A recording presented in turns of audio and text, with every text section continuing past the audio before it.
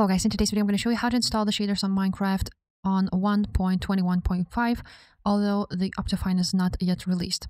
So as you can see, the Optifine is still not yet done and it's maybe 35% done on only, so it will not release anytime soon. So what I suggest you to do is just use Sodium instead of Optifine.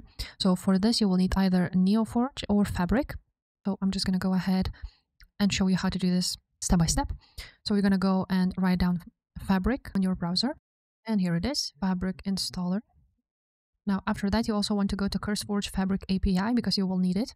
So first of all, press download and download it. And then you will need Fabric API, press on files and find 1.21.5 Fabric and just press download. After that, go ahead and download the sodium. So as we have the Fabric one, and we have 1.21.5 press on this one and download it. Now you will have them here. You want to double click on fabric installer and install the fabric.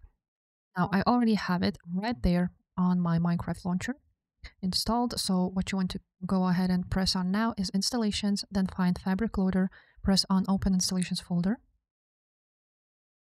Then you will be redirected to this page where you want to find mods folder open it and you want to go ahead and add fabric API and sodium fabric right there on this folder. Now, if you want to install some shaders, uh, I would suggest to use, for example, Iris shaders. Again, download for this specific version and add it here too on the mods.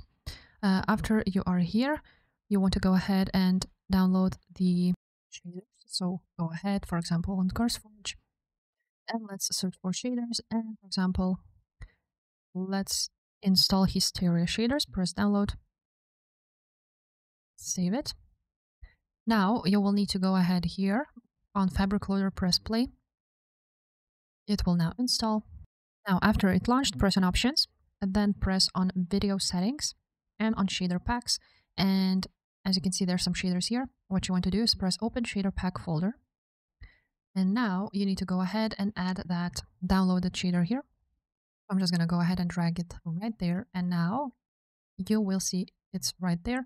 So you want to go ahead and apply it. Apply this one and press done.